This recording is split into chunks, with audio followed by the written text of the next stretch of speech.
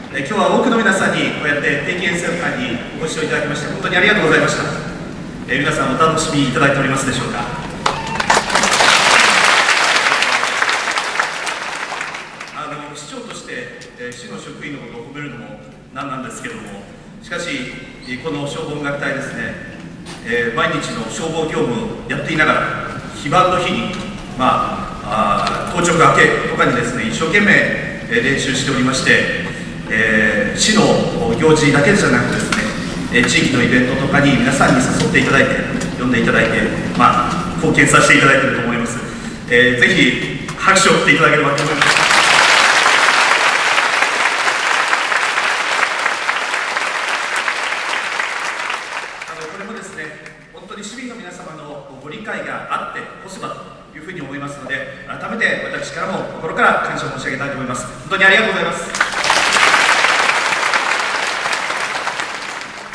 えーさて、えー最近いろんな市長さんとお話ししますとですね、やはり気になっているのが、えー大規模災害に備えてということであります。まあ、安全安心のまちづくり努めてまいりますけども一時期大きな災害となりますと、まあ、日々、えー消防局員、えーものすごい半端じゃないトレーニングしておりますので、えーいざという時は皆さんの人命救助に、えー消防当たりますけどもしかし、えー145万人の大都市でありますから、えー消防局で対応できるというのはごく限られておりますそういった意味で、えーぜひ自助共助こういったところをしっかりやっていただくということがまず基本になりますので、ぜひよろしくお願いしたいと思います。そして、えー全国で今叫ばれておりますのは消防団員の不足であります。あの東日本大震災の時に、えー消防団員の皆さんが本当に、えー自分の命を顧みつですね、えー人命救助に近所の方は当たるという姿を見て感動なされたことがあると思いますけども今もですね多くの市民の皆さんが消防団員に加わっていただいてえーこの消防局と一緒に、えー地域を守っていただいておりますぜひ、えー若い方そして気持ちも心も若い方思っておられる方はですね。ぜひ消防団員に入っていただくあるいはお声掛けをいただければなというふうに思っております、えーぜひみんなで、えー安全で安心な街づくりをしていきたいというふうに思いますのでこれからもご協力よろしくお願いします。それでは私も今までトラック工部だったもんですから、これからになりますけども最後まで聞かせて一緒に聞かせていただきたいと思います。今日はお集まりをいただきましてありがとうございました。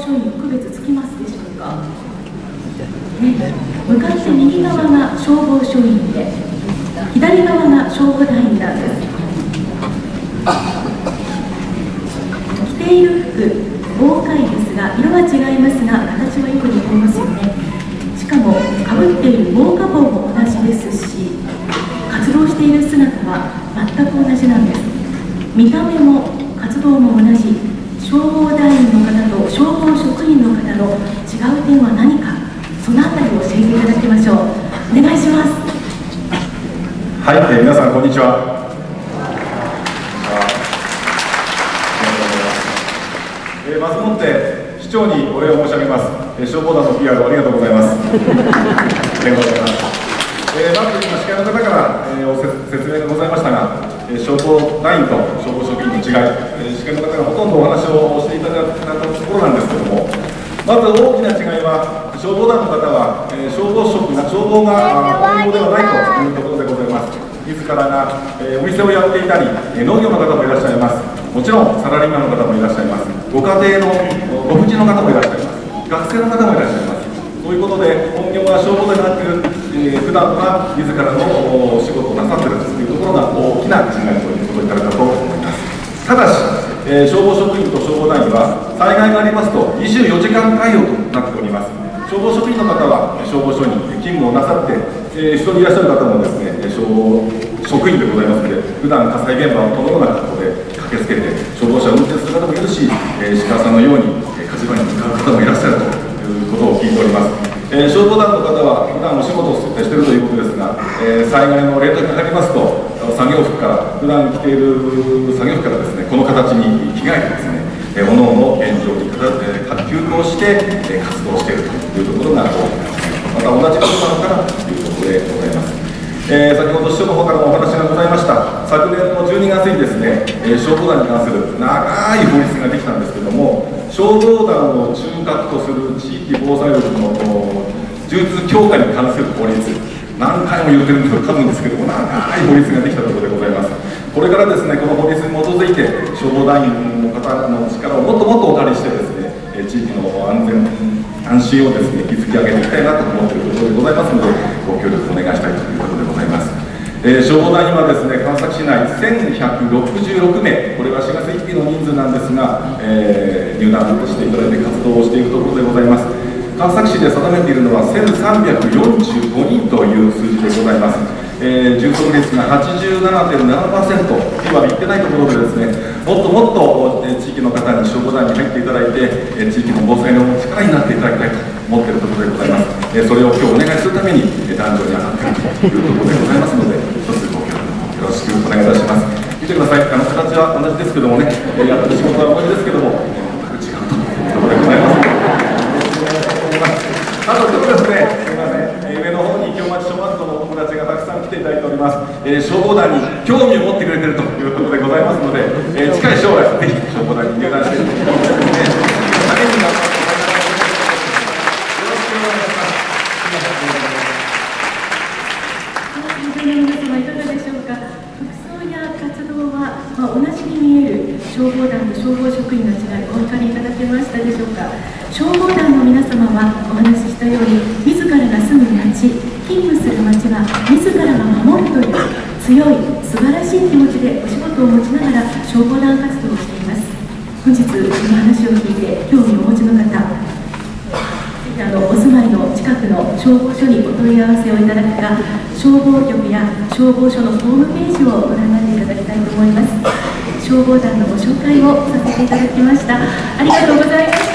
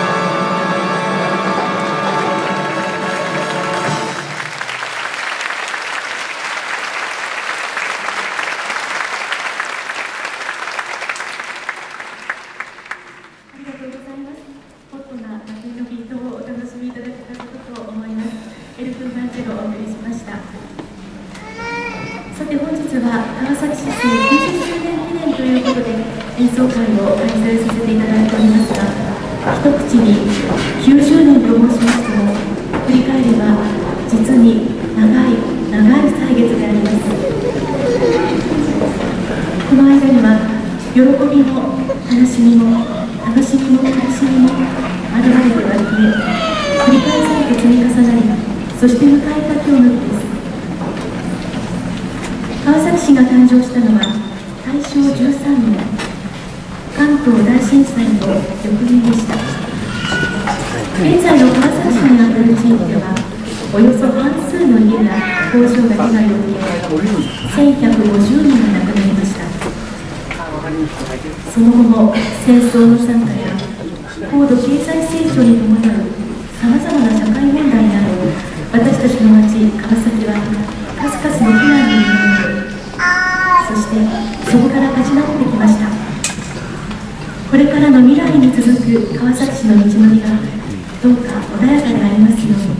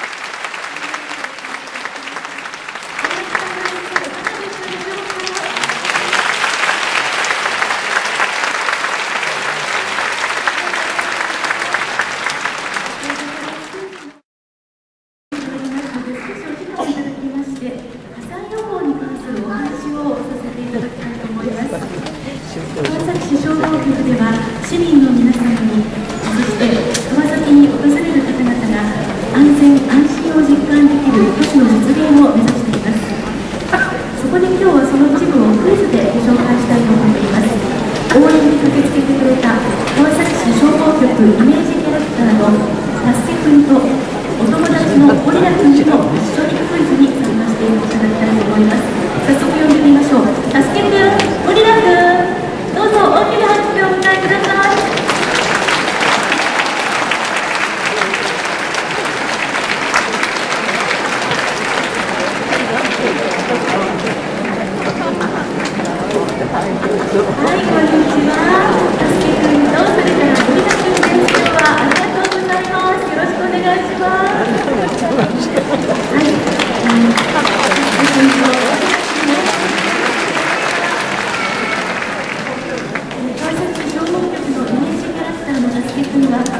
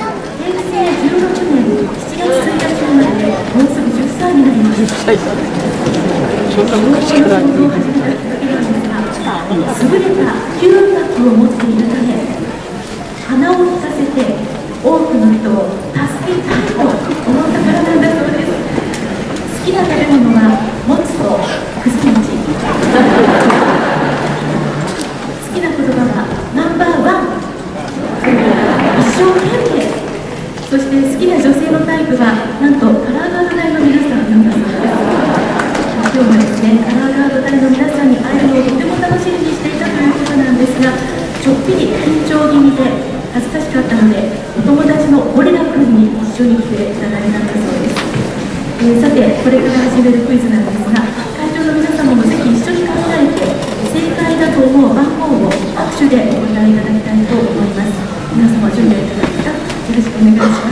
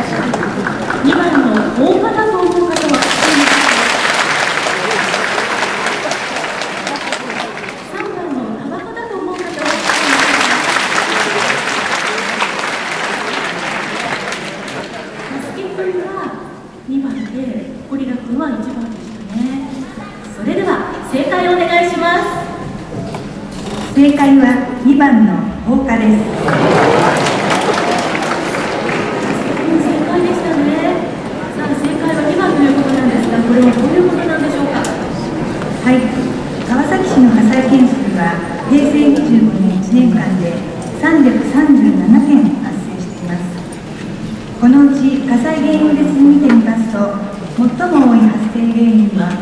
放火次にタバコその次が今度の順になっています。放火については昭和51年から火災原因で連続1位となっています。放火防止の対策としてはいくつかのポイントがあります。まずは家の周りには燃えやすいものを置かない。そして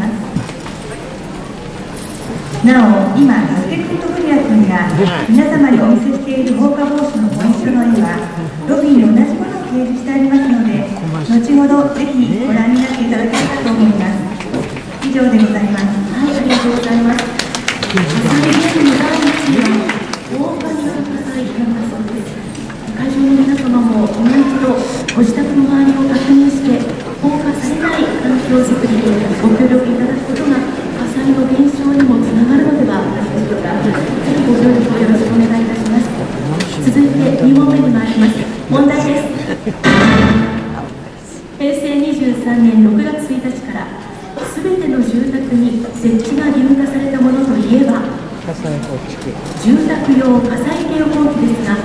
その住宅用火災警報器の川崎市内での推計設置率は平成26年3月現在で何パーセント。でしょうか1番97.4% 2番 73.8%3 番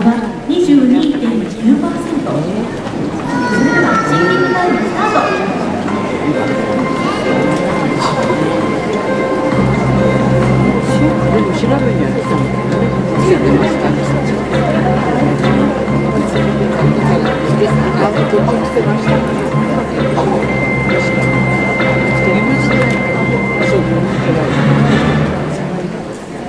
番の97.4%の評価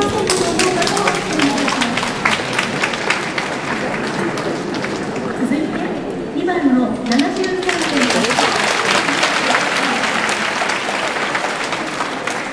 3番の22.9%。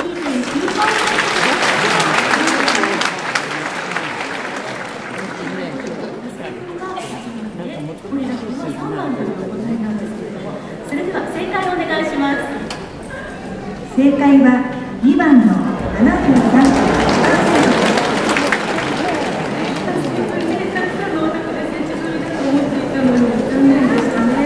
たすけくんもゴリラくんも残念ながら不正解でした。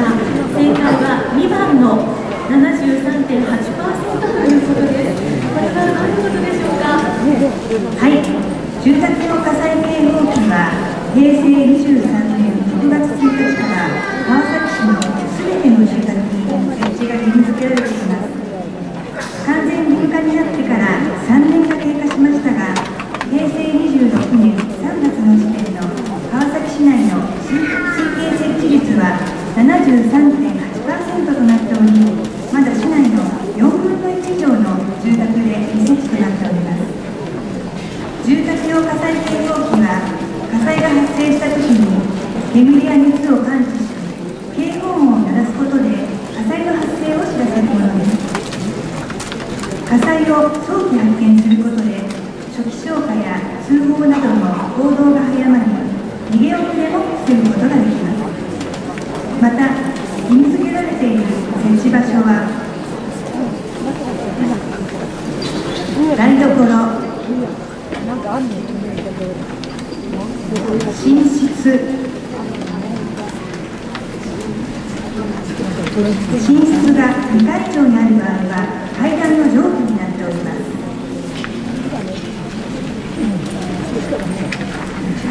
設置場所にはそれぞれ必要な理由がありますので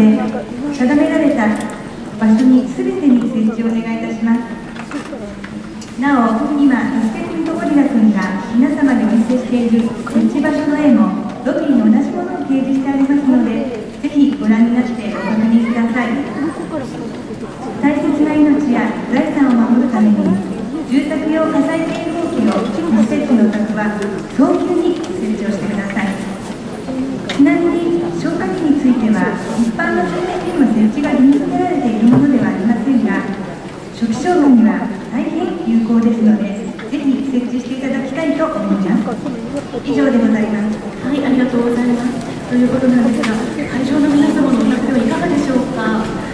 住宅用火災警報器をまだ設置していないというお宅は、ぜひ早めに設置をしていただきますように、どうぞご協力よろしくお願いいたします。消火器も合わせて設置していただくと本当に安心です。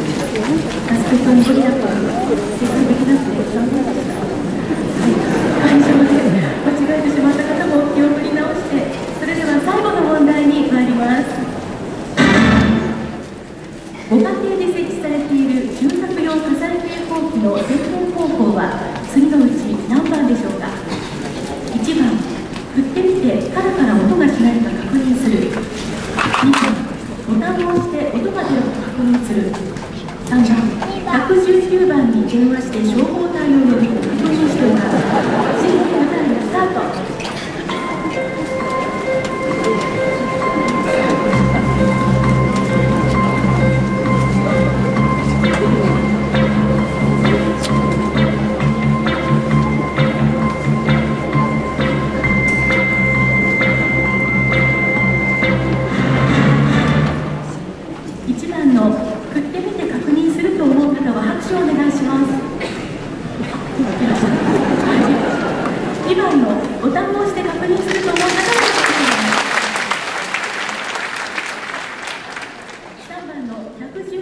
に電話して消息隊に確認するためのノー助け君は2番でゴリラ君は3番それでは正解をお願いします正解は2番のボタンを押して音が出るか確認しますはいありがとうございます。さす助け君正解でしたね。ゴリラ君はもう少しお勉強しましょうね。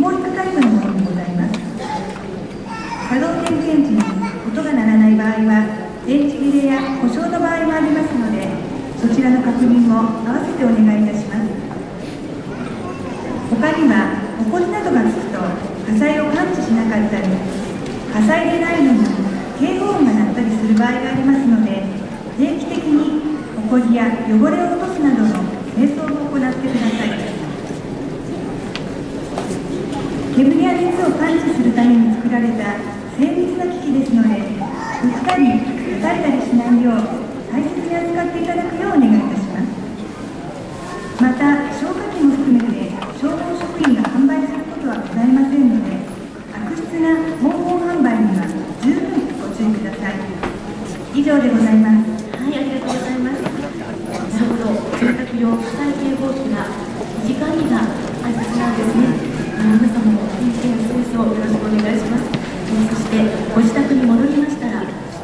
上火災警報器ぜひ点検してください、ね、消防局から安全安全に過ごすための動画のポイントをクイズ形式でお伺いさせていただきましたまずはご家庭から日々の暮らしの中で防意識を持って行動することが大切だ